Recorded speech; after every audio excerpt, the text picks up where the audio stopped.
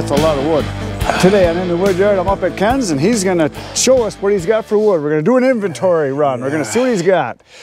I already, got I already did inventory, but I've been dipping into this. So you can see there's a row gone. So if this, from here to that end, is six full face cords. So divide by three, it'd be two full cords. Two full cords each row. One right? row from here Yeah. all the way down to there. So And here, let's see, one, two, three, four, one, five two, left. three, four left. four left. And I haven't touched this side yet. Yeah. I keep pulling off the outside because it's easy just to grab the outside roll without, I don't have to take the tin off. I don't have to move all these blocks. Right. And Yeah, a lot of guys made comment to me because I cover a lot of times just with tarp. You've got tin, you've got rubber, Tin and then tarp and rubber. blocks, and you put all this weight up here because you're out in the field here and it gets windy. You get a windy day, everything's on the ground. yep. So you can't believe better. how many tons it takes to hold that tin down on a windy day. Oh yeah, I but when I do is I put the pallets on there, then I just take the tractor with the forks and I throw some heavy stuff Yeah. on. These, the, the stuff over on this side over here, this is all that perfect wood. this from- is that pretty wood that actually Chris had on video about a year ago. yeah, about a year ago he did this. That was is- yeah, that was the end of the perfect That's some wood. beautiful stuff there. That's like too too good to sell. And you know, like see, I dipped into this side already, and same thing, Yeah. Because I got people that are wood snobs, and you know, oh, I want this size, I want this species. So this is all maple. That's all hard maple. And over here is a lot of mixed stuff, right? But this there's a lot is this perfect stuff here. This is almost all oak. Right. Now this is mixed. This is maple. I can see some ash in there. I can see some oak in there. There's some yellow birch in there. This is the last of the reject wood I bought from the Park Falls Mill. right. It was all their reject wood. This is like the last stuff they had, and this is this is what's left. Right. So, So then and this is a prettier, small maple for Yep. your your stoves. So these piles originally, when there was nothing robbed out of them, were 30 face cords each. Each one of these piles was 30. That was 30. That was 30. Well, there was there's another one back over there with that way back. That's 30. These are all 30, 30, 30.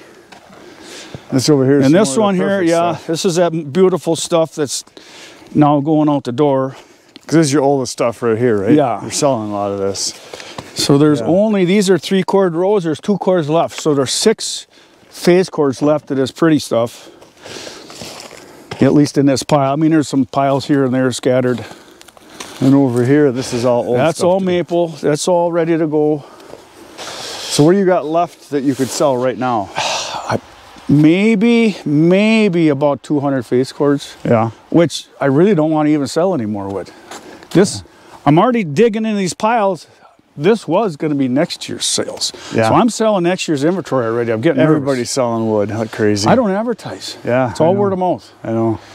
So what have you sold this year, do you think, so far? 400 face cords maybe? 350? Maybe, maybe. Yeah. That's a bunch. It's hard to say because I do a lot of trading too. I do a lot of horse trading. Well, a lot of people ask me, you know, like, how much have you sold? I trade- don't I trade I don't for- have time to sit around the cone. I got work to do. I trade for mechanic work. I trade for beef. I traded for a quarter beef last year. Barter I is a great traded guy for more tin. I hmm. traded. I. I Didn't you trade one guy for more logs too? That you you I supplied firewood for him? I got guys that. Yep. I got guys that trade for labor. Go cut a job. You know, this here, I see starting right here, you got bigger stuff. Starting right here. This is small. that big oak. That big oak we were chasing around on the ice Those last great spring. big four footers. From here down to there. so that, yeah. how many?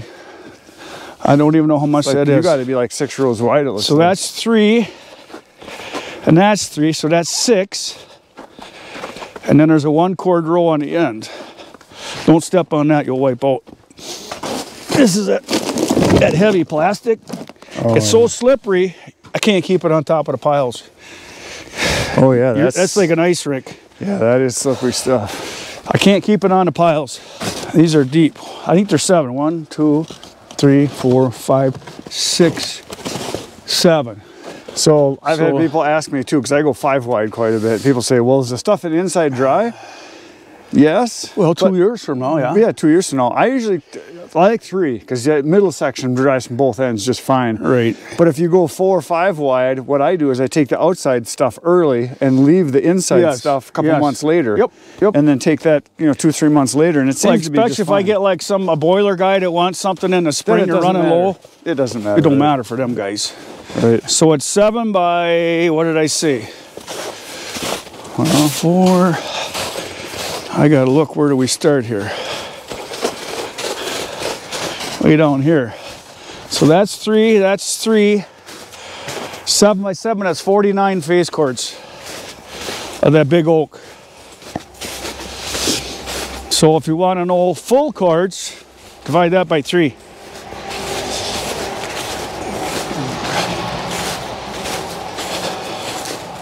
That's one roll. That's a lot of wood. That's a big pile. That's it's a long pile. It took.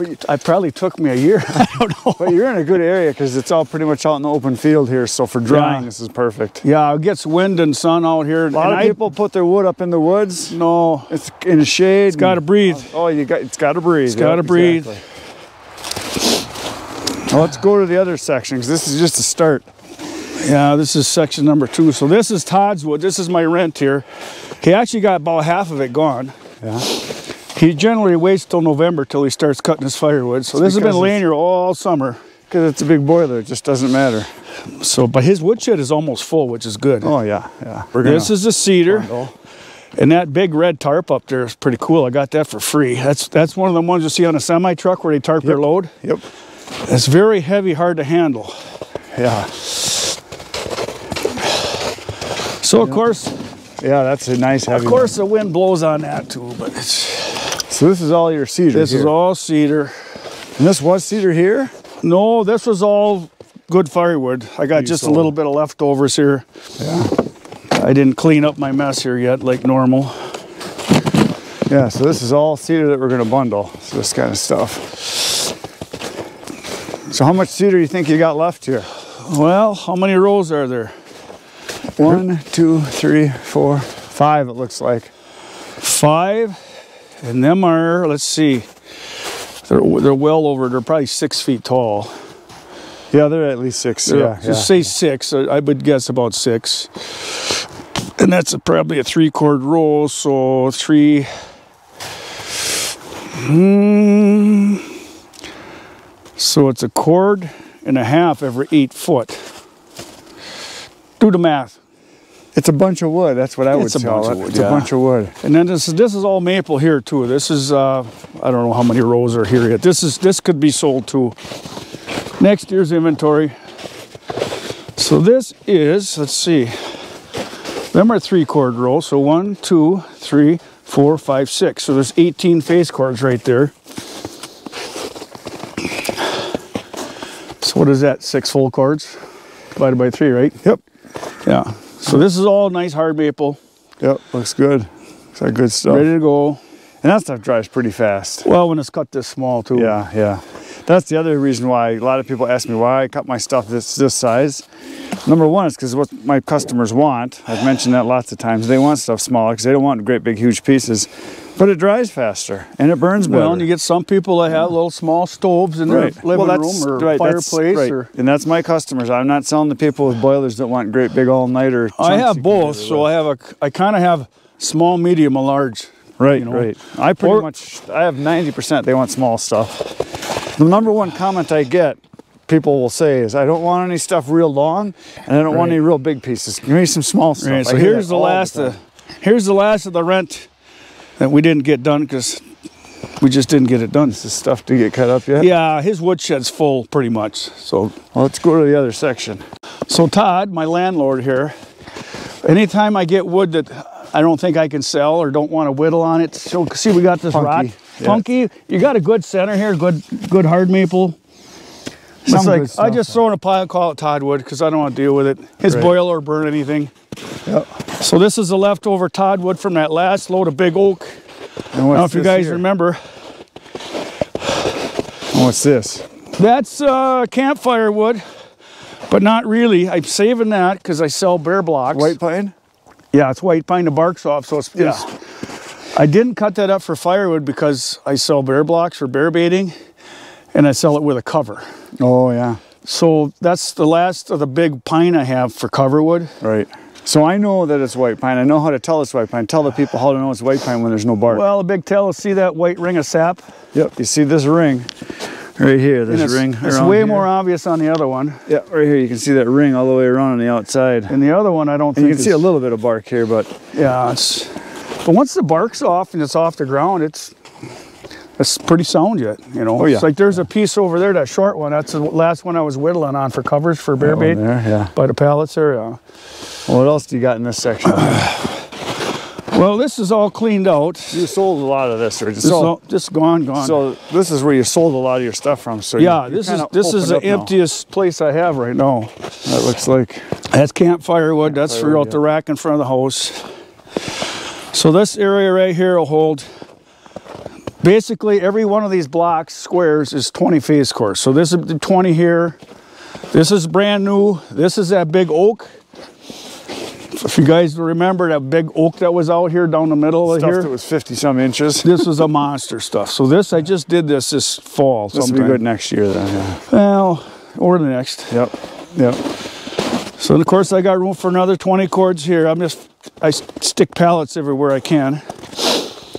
This wood here could be sold. This was older wood. Yeah, this has been here a while. This could be sold, but it'll go next year. And of course there's room for another 20 cords here. So how long has this stuff been here? Because you're in the shade here. This is not a good drying spot. But if you keep it here for two, three years, it'll be dry. this wood though, if you look, you can see it was re- reject railroad ties. Yeah. You see there's no bark on it. Right, So this stuff was half dry When you cut when it. I cut it. I could see there's some paint down there, see some blue paint. Yep. So this was some of that reject wood I got from the mill, Right. which in a big pile, it's bark off it. It's been sitting for two or three years. So it's three quarters dry when I cut it. So I'm, I could sell this next year, no problem. You got 10 rows wide here. Yeah, or two cord rows times 10, that's 20. Yeah. That's a big So block every of one of these blocks is 20, and there's my bear blocks there, Yep. Which are gonna be firewood eventually because they're getting old. Right. And you had a big, huge pile here, but that's all There was 30 cords here. One customer took that, 30 cords gone. Wow. That was a big pile. Yeah, it was a big pile. Holy smokes, look at this stuff. You put some work into that, huh? That's what I did uh, September. That was my September job. So uh, I scaled up these piles. So the guys that watch these videos, you guys remember when we hauled them lumber packs, some packs of lumber we got last, that was last December. So that was almost exactly a year ago that I got this. Yep. And we dumped them up there in a field and they laid there all winter. Right. So I hauled them down here because I had room because there was there was 30 cords here too that And when you cut it, it was pretty dry already, right? yeah, yeah. And you can see this stuff. Look at the look at the diameter. You got thin stuff, thicker stuff, thicker, wider. You got all different Yeah, I sizes try to pull here. some out here. It's got enough weight on it, but yeah. For me, I love it in the garage. Yeah, it's you stack it up. So I probably I burns good. I bet. Get that board back in there, probably not. But so, I how measured these piles. There's 47 face cords of this stuff. Well, you got pallets here, but yeah, that's got to be. Oh yeah, here's the other side. You got uh, a bunch of wood here.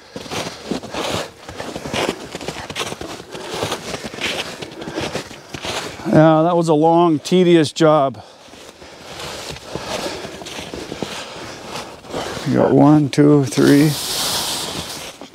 One, two, three, four, five, five wide. And they're long, though. They're like five cord rows. Yeah, So that's like 25 cords or something like that. yeah. I don't even, without putting a tape on it, I don't know. It's, a but I know when I finish this pile and this pile here is the same thing. And you got another one It was like 47 face cords is what it came out to. of lumber. Yep, lumber pad. Hard, it's all almost all hard maple. Yeah. Well, there's oak in there. There's too, a I little oak in there. There's a little cherry in there. There's a little yellow birch in there. Well, here's the section. If you want to pull a couple out, just show them. Yeah, I different just took that. I just took that home for. So everything from from this size to Yep. And I tried to cut it all 16 so it stacks. yeah. This was a lot of work. But on the other hand, I didn't have to split it. Right. Right. And what I did is I laid stringers out here and I take my forks on my tractor and I'd lay it all down. And then I would stack up about four rows of lumber and I would mark it out with, with a pencil, you know, uh, what do you Marker. call it? Marker. Yeah. And then I would just take the big 395, go whoop, whoop, whoop, whoop, and I only had to go from here to there. Yeah. here to there. Ain't so bad. And I would have four or five piles like that. I'd have one pile there, one pile there, one pile here, one pile there. And I would just move the pile from there to here, so I only ever had the pile like this. Right. And I didn't have all the pallets down. I did one pallet at a time. Right. So as I filled a row of pallets, I'd lay down another row of pallets. Right. So there's two things you did. Number one, you moved it and cut it where you're going to stack it. Yep. Save a lot of work. Lot a lot of of, people handle their wood in the woods, much. cutting it and then loading it and then unloading it and then dumping it. Nice about stacking. this, there's no bark on it. Dude. Right. No bark. But Well, it's, the a- other it's about a billion pieces though. It's a lot of pieces. like I say, you didn't have to split it. nope. And uh, the bad thing is, is that the smaller you cut your wood, the more you got to handle it. It's not like grabbing big, huge ah, chunks. Because when you're stacking big boiler wood, it goes fast. Oh yeah. But not this. no, so this was a project. Yeah. You got some lumber sawn. Yeah, I finally finally got the rest of my white pine sawed. I got two by fours and one by twelves. A lot of one by twelves in there. I don't know if you can see there, but yeah, this stuff sawed out pretty nice. That's all white pine. And that stuff you cut yourself, right? No, this. Well, we had a wood yard down in Tony with the company. I mean, this stuff. I got this stuff like four years ago, maybe, No kidding. and it was it was oversized for the mill. They couldn't take it. It was Right. it was pulp. It came in as pulp on a truck, and we we got out of that yard, and there was like a truckload of it. And my boss was just get Make rid it- of it, make it go make away." Make it go away. It's okay. so I call up my buddy Terry Foster, and he hauled it for me. Pretty sure Terry hauled this over here. He hauled this up from Tony, and that's what's in that. That's the ugly stuff. What I did is I picked out the ugly stuff for campfire wood, Right. And I picked all the nice stuff out. Said, man, that's too nice to cut up, Right. Right. so I had it sawed. I got a buddy. That's another thing we could do. We could go to Howard's house Yeah. and saw some wood. It's not even on the list. Yeah. Yeah, we made a list. We made a list last night when I got here. All the things we could do. We came up with about 20 different things. Yeah, we could do this all day long. Problem is, is we're supposed to get eight inches of snow today, so we're going to be more limited on what Yeah. we want to do today. We're gonna we do this, and we're gonna go on another video. We're gonna do some bundling. And So this is this other is more of the railroad tie uh, cutoffs. So there's 10 face cords of this right here, and this could be sold today. This is ready to go. And here again, you got looks like five wide. Should be five times two. Should be 10.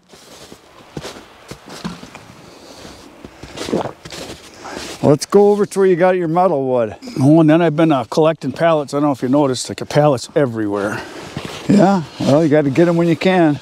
Well, I'm at a point where I'm turning them down now because Right. I I've been I've been getting much more picky on my pallets. If if it's Yeah. pine, I try to not grab them. I try to just get the good old. See, I like these long ones though. When I'm running these long piles like this. Right. So this is my latest here, and for guys that have been on the channel, you see that old Green International up there. This pile is going to go all the way up to that truck eventually. Right. Well, this used to be where you had all the, your big, huge, nasty, ugly. Well, there was truckloads here. Plus, I had finished wood here too. So this is a month's work here for me. I actually worked on it for two months, but I went on so many trips and hunting trips this year. I was actually only here for a month in the last two months. And this is all like- oak. Smells like oak. This is all smell it. oak up till the Smells next like pallet. puke. Red oak. And then when you get now, this Yep, is all maple. maple. Yep. This is all maple here. can smell that too. Totally different smell. So this is all the metal wood of all that junk I bought, the reject wood I bought last year. I think I bought like almost 10 truckloads.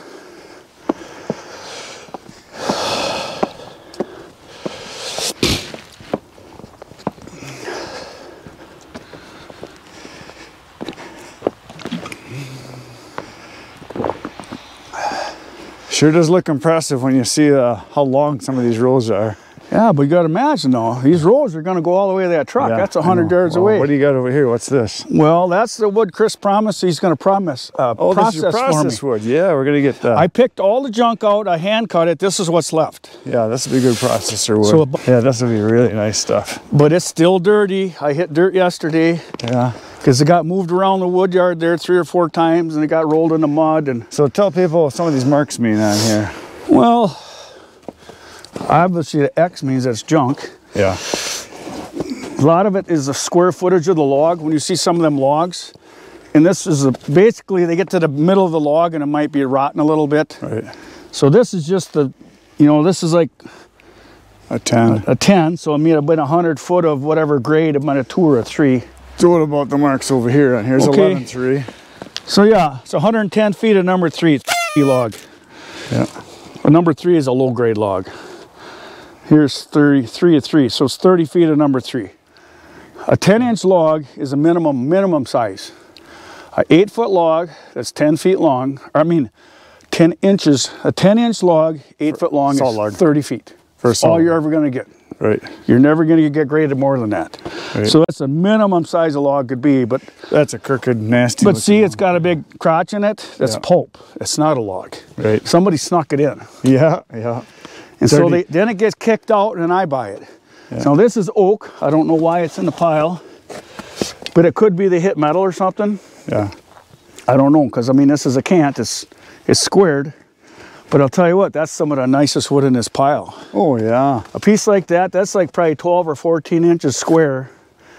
That's beautiful And stuff. it's a year old, so it's been sitting out in the this field. stuff, it's this drying. stuff and- is probably two or three years Oh, old. so it's going to be starting to be pretty good and dry. It's pretty dang dry already. yeah. Well, the oak I mean, there is going to be a lot of loss. Like you see this rotten one here. All right. If that runs the length of that This is stick, pretty rotten too. It looks like. if this runs the length of that stick, the whole thing is junk.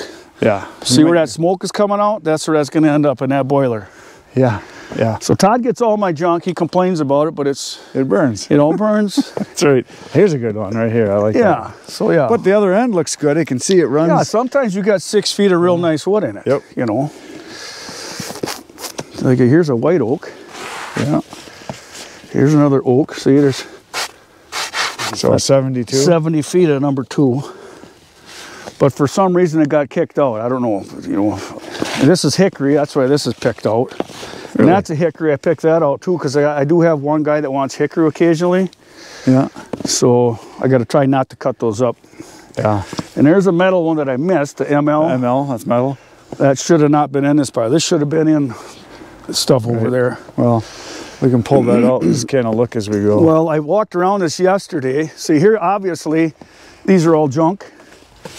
Right. But the other end might be like this. Right, So, so I might get half the stick. I might get a quarter stick. You don't know. You take the good with the bad.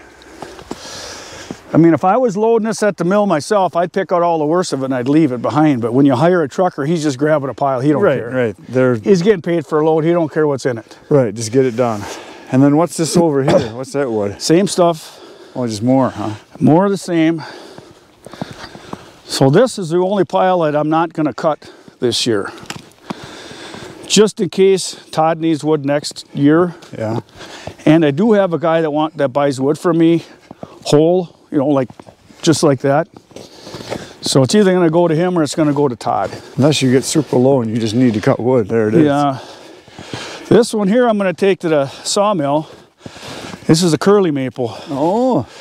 So So they see- weren't supposed to kick that out, were that should not have been kicked out, but I got it. Yeah. It's a So there's kill. 70 feet number one curl. So that's a good piece of It- wood.